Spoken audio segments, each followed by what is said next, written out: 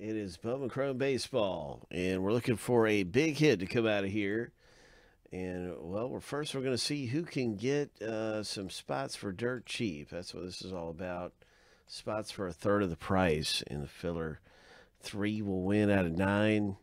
Get in for a third of the price, 885 Let's have some fun. Let's find out who wins and gets in for cheap.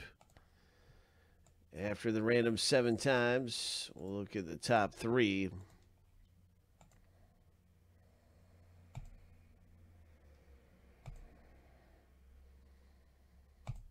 Good luck, everybody.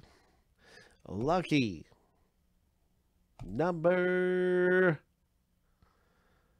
seven. Congratulations to those of you who won in the filler. I want to thank everyone who got in the filler for taking a shot with us, winning spots for cheap. Thank you for playing. And um, so we do have winners there, and John certainly came away smelling like roses. That's the filler part of our box break. Let's go ahead and start randomizing the teams. Came out smelling like roses. Seven times through for the owner names. We're going to randomize each list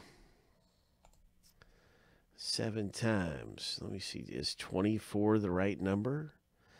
It is not the right number. So I'm going to conclude that this part of the box break uh, and make a part one.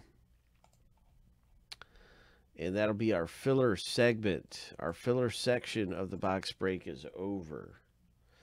So congratulations. We'll start with the team random and odor random. We'll see who gets what team in part two of this box break.